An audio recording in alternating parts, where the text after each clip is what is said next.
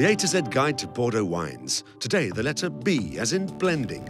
Let's discover the secrets of creating Bordeaux wines. Hello, Sabine. Hello. Bordeaux wines are reputed as being blended wines. What does that mean? Blending is one of the characteristics of Bordeaux wines.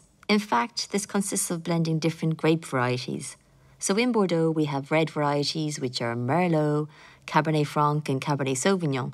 And we also have white varieties, which are Semillon, Sauvignon Blanc, and Muscadelle. The fact of combining these different varieties during winemaking will enable us to bring more complexity, more overall fine balance to the wine.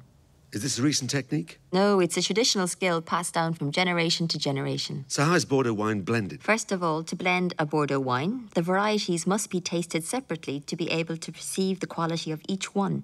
Once we have done this tasting, we will be able to try and bring them together, to combine them as a chef would mix ingredients when preparing a culinary dish. So, the advantages of Bordeaux grape varieties. For Cabernet Sauvignon, we will have a fruity, very expressive character with scents of black fruit, spicy hints, and marvellous lively structure, which will bring lots of powerfulness and long aging potential to the wine. Conversely, Merlot is all in fine detail, on elegance and lots of roundness in the structure of tannins, with lots of subtleness, which will envelope the Cabernet Sauvignon. And for white wines? For the same reason, we will blend the various white varieties. Sauvignon Blanc will bring all the freshness and liveliness, and Semillon will provide the roundness of elegance to the blend.